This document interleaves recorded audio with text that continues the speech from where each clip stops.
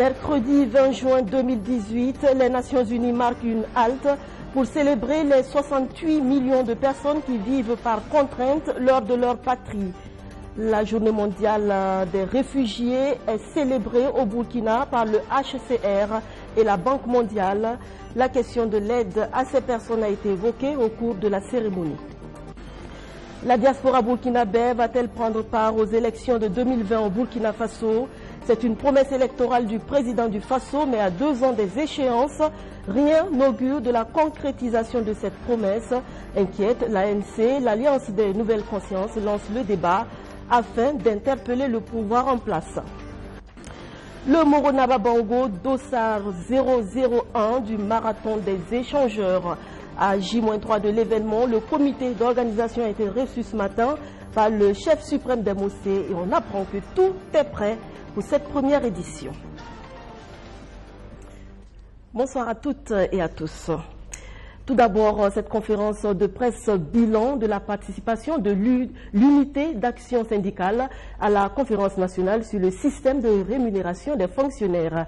Elles sont cinq centrales syndicales et 21 syndicats autonomes à avoir pris part à cette rencontre. Leur attitude a été décriée par certains agents de l'État, mais pour eux, pas de regret. Ils estiment avoir défendu les intérêts des travailleurs. Luc Pagbelgen.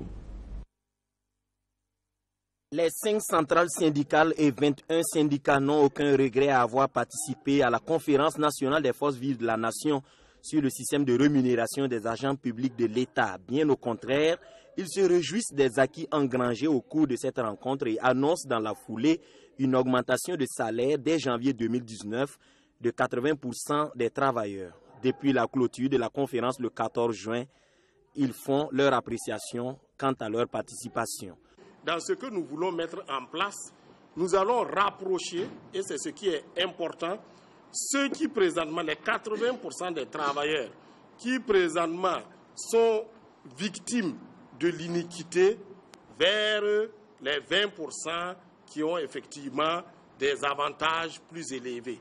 L'essentiel, c'est ça. L'essentiel, c'est d'aller vers l'équité. L'essentiel, ce n'est pas d'opposer les statuts des uns et des autres Nous ne sommes pas du tout dans cette logique. Pas du tout. La recherche de l'équité, ça prendra le temps qu'il faut, mais nous allons y arriver. Puisque, comme je l'ai toujours dit, Rome ne s'est pas construite en une journée. Au titre des acquis, les participants côté syndicat retiennent quelques-uns. L'expérience des échanges avec les forces vives de la nation, l'avancée vers l'équité dans le traitement salarial des agents publics de l'État, la réduction du train de vie de l'État, la mise en place d'un mécanisme permettant l'amélioration continue de la rémunération des agents publics indexés sur la croissance et le coût de la vie. De ce point de vue, leur rôle a été déterminant dans les débats. Nous, nous avons notre conviction qu'en participant à cette conférence, nous apportons un plus dans l'équité et la justice de ce pays. Point barre. Les autres n'ont qu'à penser ce qu'ils veulent. Ça, ce n'est pas notre problème. Nous restons un mouvement syndical aux côtés des plus démunis, aux côtés des sans-voix, aux côtés de ceux qui ont besoin de nous pour améliorer leurs conditions de vie. Et chacun a sa ligne. Et on ne peut pas empêcher les uns des autres. Nous aussi, on peut dire que ceux qui ne sont pas allés, peut-être qu'ils sont payés par quelqu'un d'autre pour à des fins inavouées. Nous, on ne sait pas, mais nous, on ne va pas s'aventurer dans ce genre de déclarations. La CNTB, l'ONSL, la CSB, l'USTB, la Force ouvrière UNS sont les cinq centrales syndicales que compte le Burkina Faso à avoir pris part aux travaux. Elles sont convaincues qu'elles ont défendu l'idée d'une fonction publique moderne, décomplexée, qui est au service du peuple, dont les agents bénéficient d'une rémunération incitative au regard des sacrifices qu'ils ont toujours consentis pour le développement de la nation.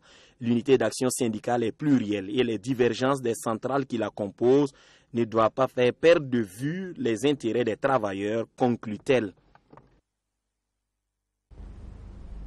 Les intérêts du peuple burkinabé seront-ils mieux défendus avec le nouveau code pénal Bien malin qui pourrait répondre à cette question? Une chose est sûre, le texte est loin de faire l'unanimité au sein de l'opinion et ce qui divise les populations depuis son adoption le 31 mai dernier, c'est sa principale innovation, l'abolition de la peine de mort. 54% contre et 42% pour, d'après le Centre pour la gouvernance démocratique qui a diligenté une enquête. Alfred Thué. Plus de la moitié de la population, soit 54% des Burkinabés, pensent que la loi devrait conserver la peine de mort pour les personnes qui commettent des crimes violents comme le meurtre, le viol ou les attaques à main armée. Pour ces derniers, la peine de mort est un bon moyen de dissuasion contre le crime. Ils sont contre le maintien de la peine de mort par la loi. Ces deux tendances émanent d'une enquête réalisée par Afrobaromètre auprès de 1200 personnes, reparties entre le milieu rural et celui urbain en septembre 2017. L'enquête révèle que 55% des ruraux sont favorables à la conservation de la peine de mort par la loi, contre 47% des citadins. Un peu moins de 48% désapprouvent l'affirmation selon laquelle il n'y a aucun crime qui puisse justifier la peine de mort. Ces résultats interviennent à un moment où la peine de mort vient d'être abolie au Burkina Faso. Burkina Faso, pendant plus de deux, près de deux décennies, s'est retrouvé justement dans une logique d'abolitionnisme des faits. C'est-à-dire pour dire que la loi pénale qui pouvait euh, prononcer, permettre aux juges de prononcer la peine capitale était toujours en vigueur, mais n'était pas mise, euh, euh, les dispositions n'étaient pas appliquées, notamment celles concernant la, la peine capitale. Voilà, donc ce n'est que le Burkina Faso, je pense qu'avec cette abolition, nous ne faisons que être en phase justement avec justement cette attitude d'abolitionniste des faits, voilà, qui a été actée justement pour être désormais un pays abolitionniste de droit. Parce que désormais, au niveau du, du, dispositif, du dispositif juridique, la peine de mort est désormais abolie au Burkina Faso. Et, euh, nous pensons que c'est quand même une avancée. L'abolition de la peine de mort dans les lois pénales a toujours été sujet à polémique, preuve que les populations y accordent un intérêt particulier? En France, par exemple, euh, lorsque le doyen Bandinter euh, menait le combat contre, pour l'abolition plutôt de la peine de mort, euh, il y avait des Français, les Français en majorité étaient hostiles à cette abolition.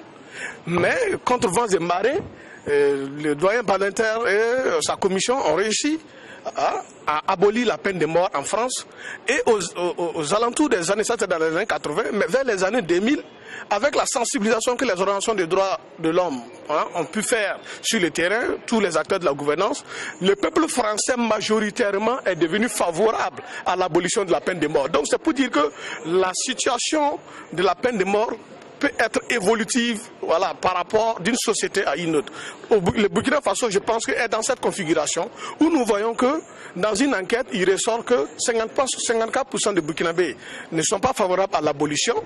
Mais je dis qu'avec le travail qui sera accompli par les organisations de défense des droits humains, les gens vont pouvoir s'approprier justement, comprendre les bien fondés justement de cette abolition. Et nous espérons qu'à l'instar de la société française, qu'au bout de 5-10 ans, les Burkinabés seront largement favorables à l'abolition de la peine de mort pour être conformes justement avec cette loi.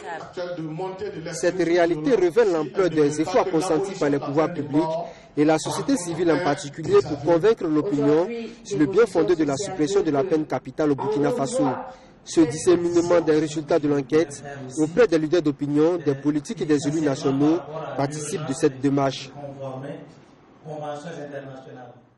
Et cette euh, démarche de l'Alliance des nouvelles consciences en vue de la participation de la diaspora burkinabé aux échéances électorales de 2020. Une série de débats avec les différents acteurs. Le top de départ a été donné lundi dernier à la cité universitaire de la Padoua à Ouagadougou, Romeo Kweta.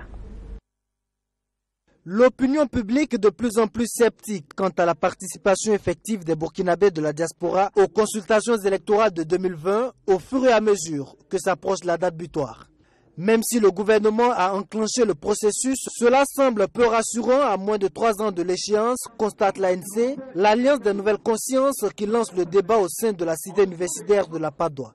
Aujourd'hui, le MPP, y compris Rock à la tête, sait très bien qu'il sera impossible d'aller mobiliser quelqu'un en Côte d'Ivoire pour voter pour l'UMPP.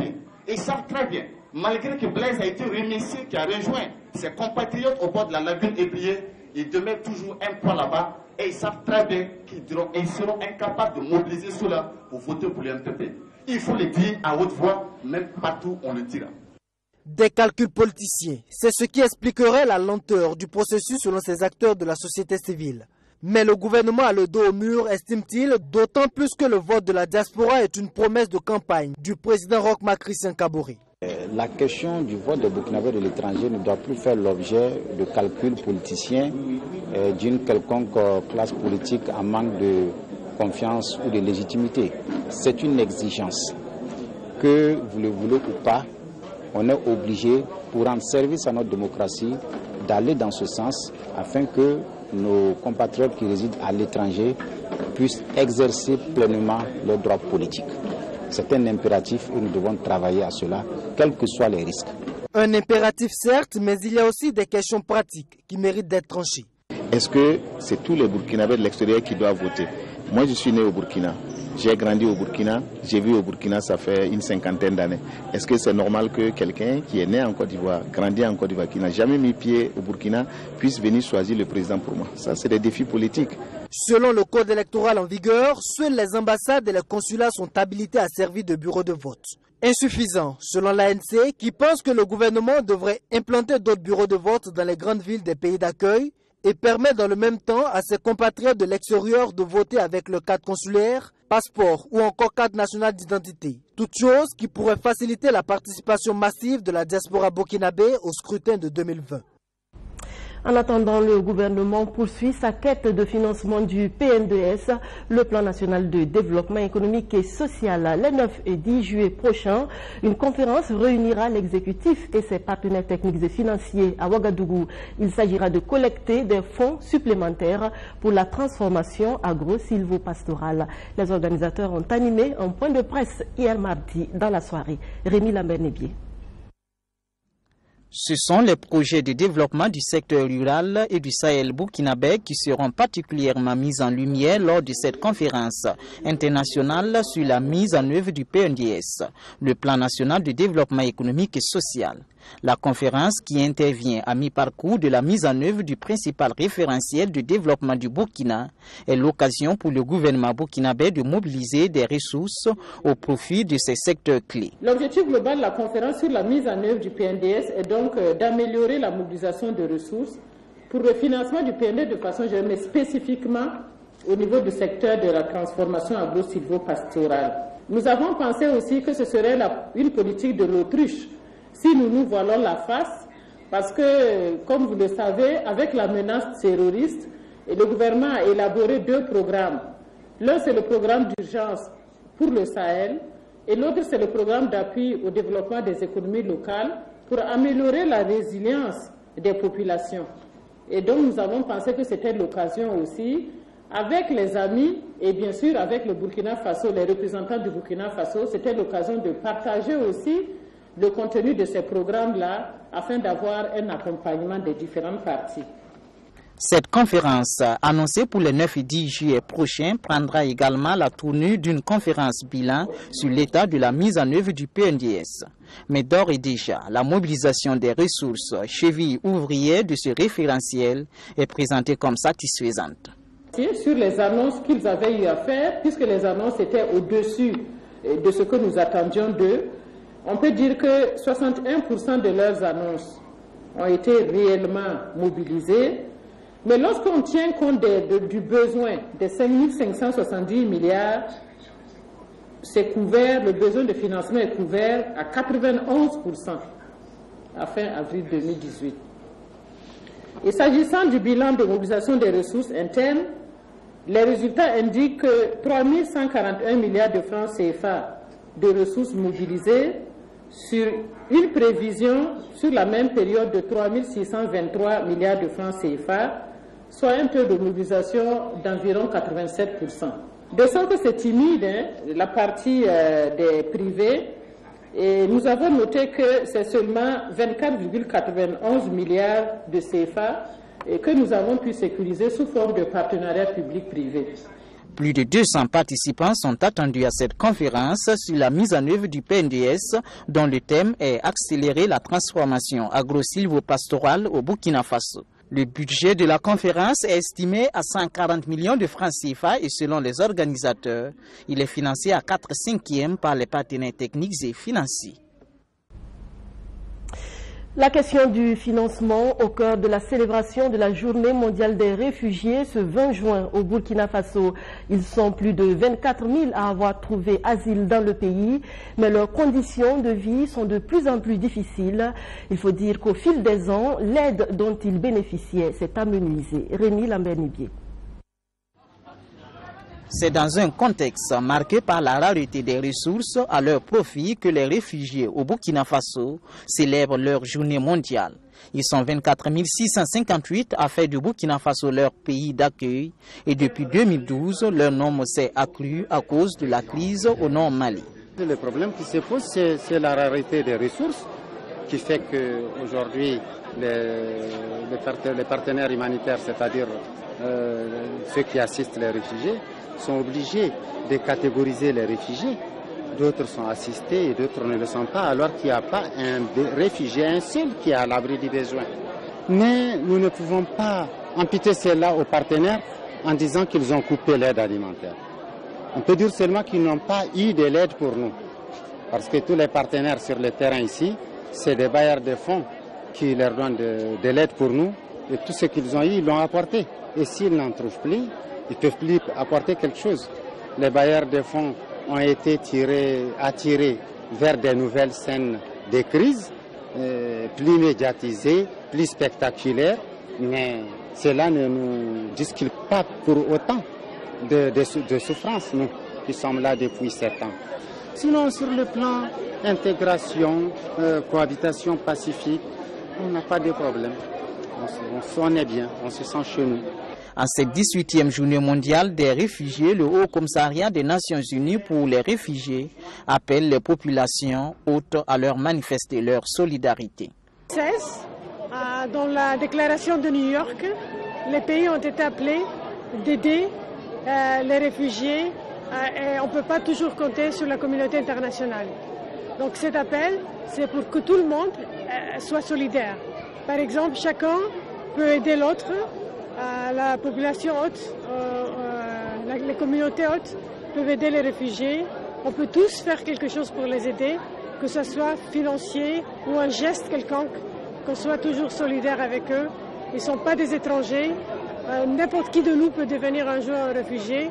Accueillis dans un pays comme le Burkina Faso où le taux de chômage est très élevé, l'intégration économique est l'autre difficulté majeure des réfugiés, même si certains d'entre eux s'illustrent parfaitement dans l'artisanat. En ce 20 juin, le Burkina Faso, à travers le ministère des Affaires étrangères, a réaffirmé son hospitalité et dit compter sur l'appui de ses partenaires comme la Banque mondiale qui a parrainé cette commémoration pour améliorer leurs conditions.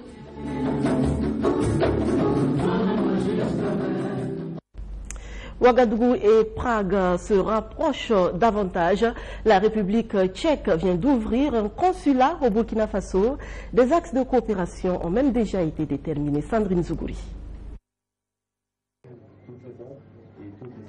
Romaric Sondo reçoit des mails du vice-ministre des Affaires étrangères de la République tchèque sa lettre de nomination. Il devient alors le tout premier consul honoraire de la République tchèque au Burkina Faso.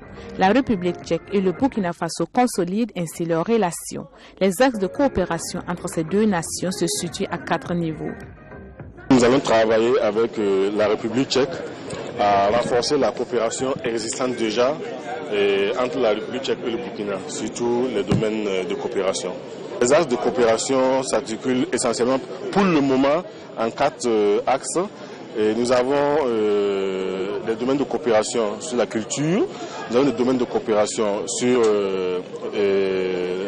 la sécurité à travers le, le, G5 Sahel, nous avons des domaines de coopération sur la formation pour le ministre d'État burkinabé, c'est le cercle d'amis qui s'agrandit et c'est une opportunité pour le Burkina Faso de renforcer les capacités des étudiants burkinabés qui iront bientôt en République tchèque pour mieux se former dans le domaine de l'enseignement, de l'agriculture et de la culture.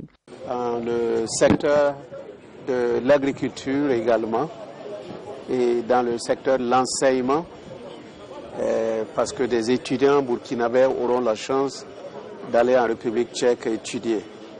Et enfin, dans le domaine de la culture, euh, ils sont friands de cinéma. Il se trouve que nous avons un festival de renommée internationale qu'est le FESPACO. Donc là aussi, euh, c'est une opportunité qui nous est donnée pour voir comment on peut renforcer euh, nos relations dans le domaine donc, de, la culture.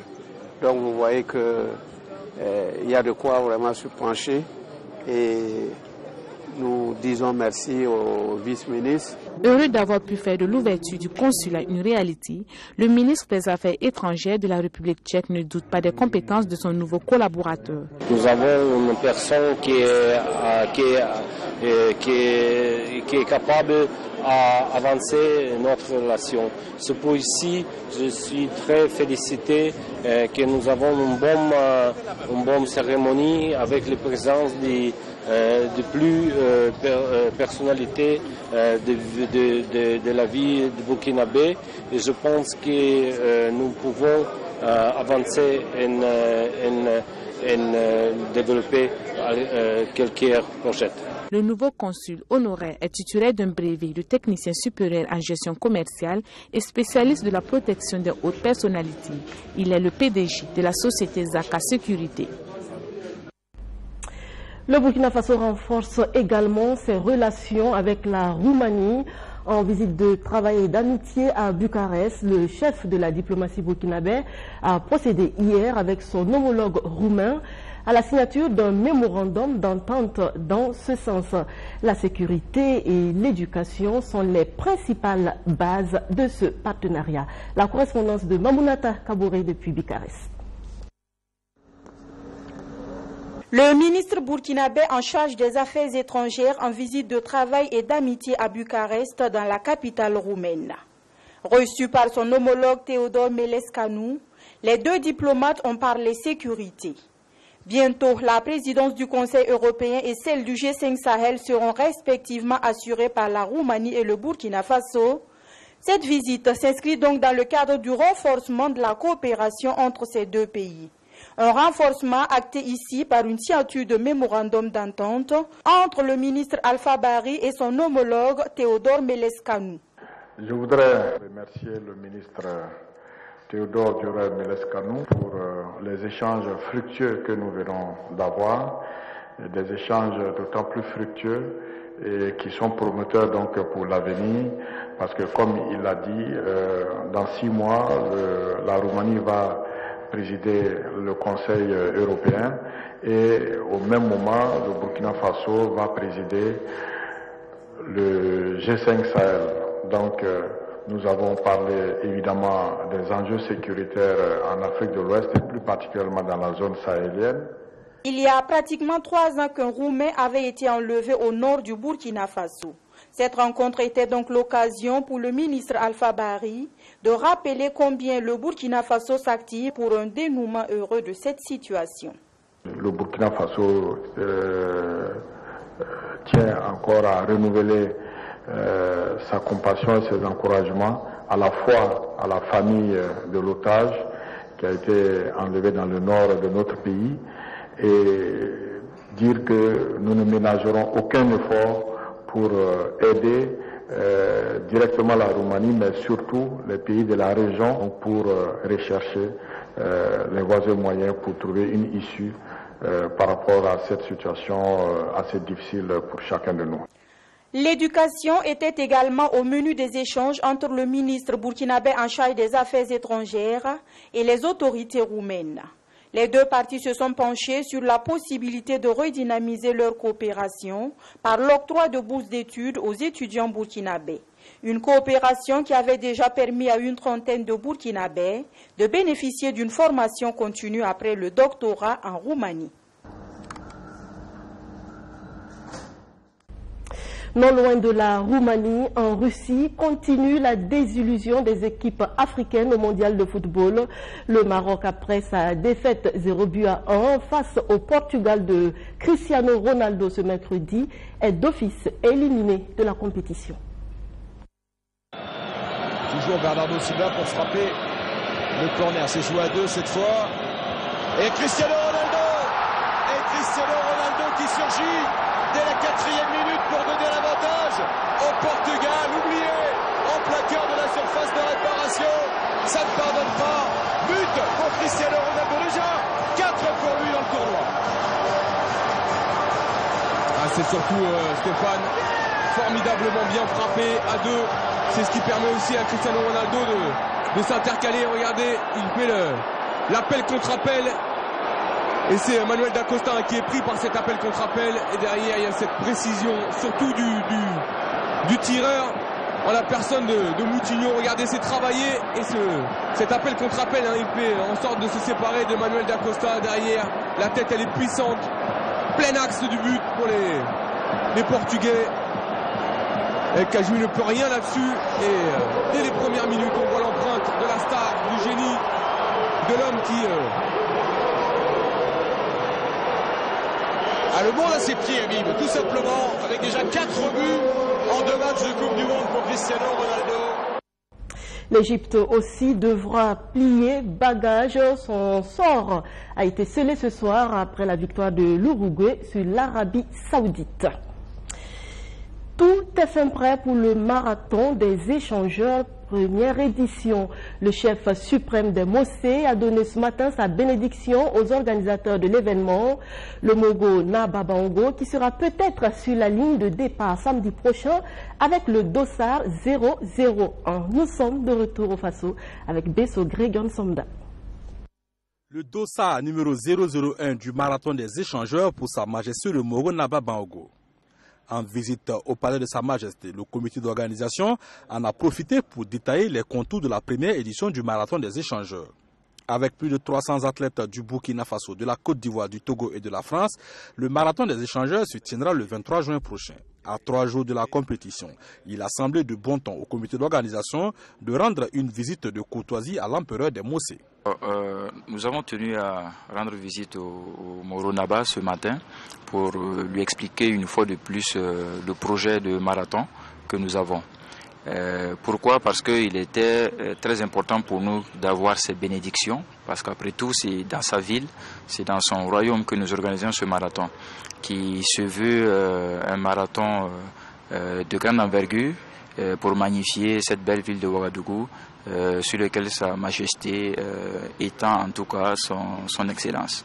Très attentif à la démarche du comité d'organisation du marathon des échangeurs, Sa Majesté n'a pas manqué de lui prodiguer des bénédictions et d'appeler de tous ses voeux à l'unité des fils et filles du Burkina Faso.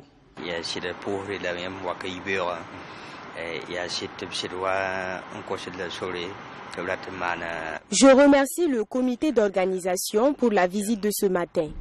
Il m'avait informé de l'organisation prochaine du marathon des échangeurs. Je suis vraiment satisfait de leur démarche. C'est une activité à soutenir, d'autant plus qu'elle permet de rassembler la jeunesse burkinabé et africaine autour d'une cause commune. Les organisateurs ont tout mon soutien et toutes mes bénédictions. Je les encourage une fois de plus dans leur démarche.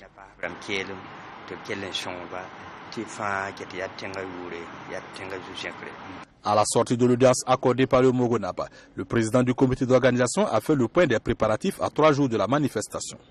Pour ce qui concerne l'organisation, il faut dire que nous sommes fin prêts. Nous avons autour de 300 personnes euh, déjà inscrites d'horizons différents, notamment de la Côte d'Ivoire, du, Togo, du Burkina, euh, de la région de France. Euh, la Fédération burkinabé d'athlétisme est techniquement prête, toute la logistique est prête. En somme, nous sommes prêts. 300 participants, un comité d'organisation prêt, un départ et une arrivée au stade du 4 août et surtout les bénédictions de l'empereur des Mossé, tout semble réellement réuni pour soutenir la lutte contre l'insuffisance rénale à travers le marathon des échangeurs prévu le 23 juin.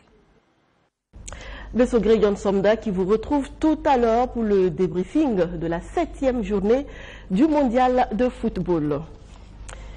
Il est des épreuves qui, quand elles surviennent dans nos vies, nous font croire que tout est fini, que nous sommes complètement fichus. Mais si on a le courage de les affronter, on finit par les surmonter et on se rend compte alors que ces difficultés n'étaient rien d'autre que le début de notre ascension. Endurer les périodes difficiles avec foi, car tout, mais absolument tout peut changer du jour au lendemain. À demain.